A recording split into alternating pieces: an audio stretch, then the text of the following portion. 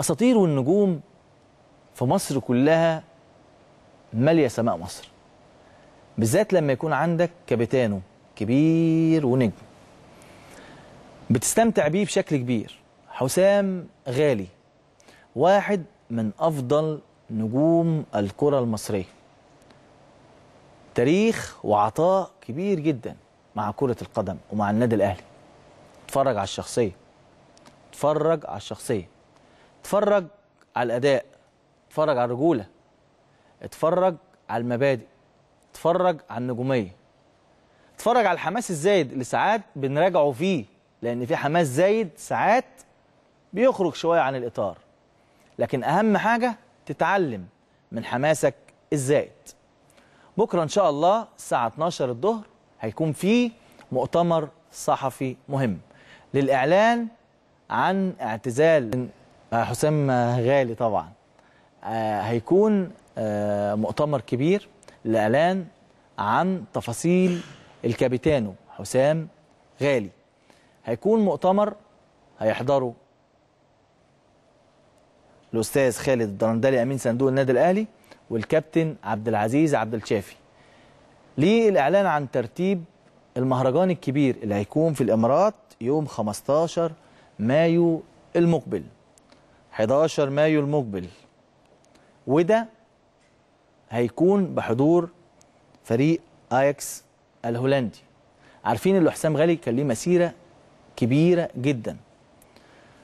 ويمكن من المفارقات إن الكابتن حسام البدري واتكلم معانا هنا في مداخلات واتكلم في كل حتة وقال لك أنا كان نفسي حسام غالي يكمل.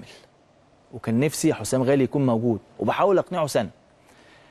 لما الكابتن حسام غالي مشي وراح احترف في السعودية وحصل بعض الكلام وكابتن حسام البدري مش عايزه بتاع تلف الدنيا في ثواني وتبقى الحقيقة اللي قدامكم كلكم اللي مش قابلة لأي تشكيك.